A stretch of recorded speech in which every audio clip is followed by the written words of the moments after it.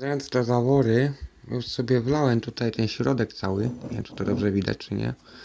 Zbytnio nie widzę żadnych takich wycieków, ale aczkolwiek widać, zostawiłem na 10 minut i coś tam zaczęło delikatnie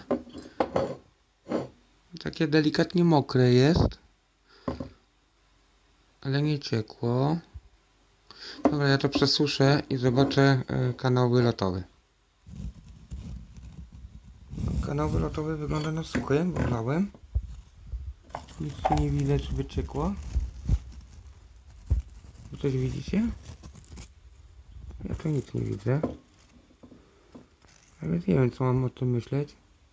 Już nie wspomnę o tym, że to troszkę brudne jest, ale to się, to się przepali w ogóle.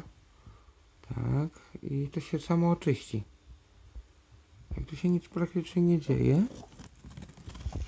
Cieknie tu coś, czy nie cieknie? Tą kamerą chyba nie.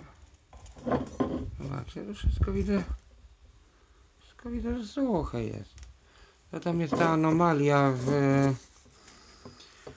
e, w tym, że tutaj troszeczkę pociekło, ale to dopiero nie od razu, tylko tam po 10 minutach było widać, było troszkę mokre, ale ja myślę, że jak to się wszystko wypali, przepali się, to się samo oczyści i już to po prostu wróci do normy.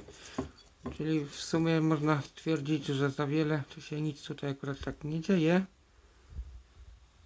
No nie, widzicie, tu nic nie cieknie, nic nie kapie.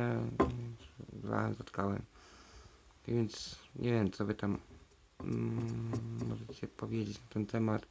Jak coś piszcie w komentarzu, co o tym sądzicie. Dlaczego paliwo znajduje się w, komo, w, w komorze, w misce, w misce olejowej.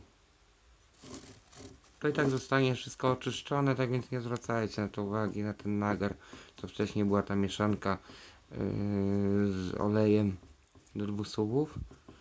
Yy, to zostanie jeszcze doczyszczone, tak więc spoko. Dzięki wielkie.